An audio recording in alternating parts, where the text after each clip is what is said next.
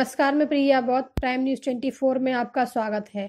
खबर प्रयागराज से है, जहाँ कल सोमवार को उत्तराखंड के मुख्यमंत्री श्री त्रिवेंद्र सिंह रावत प्रयागराज में पौष पूर्णिमा के पावन अवसर पर कुंभ पर्व में सम्मिलित हुए। उन्होंने कुंभ क्षेत्र का भ्रमण कर मेले की व्यवस्थाओं का जायजा भी लिया। संत महात्माओं से आशीर्वाद लिया तथा अखाड़ा के अध्यक्ष और महामंत्री से भी मुलाकात की।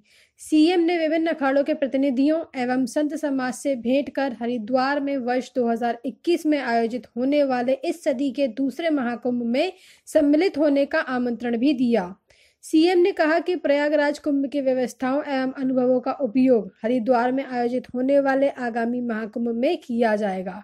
मुख्यमंत्री के साथ शहरी विकास मंत्री श्री मदन कौशिक विधायक श्री आदेश चौहान, सीएम के औद्योगिक सलाहकार श्री के एस पवार, मुख्य सचिव श्री उत्पल कुमार सिंह एवं सचिव पर्यटन श्री दिलीप चावलकर भी मौजूद रहे। प्राइम न्यूज़ 24 के लिए ब्यूरो आनंद प्रकाश की खास रिपोर्ट।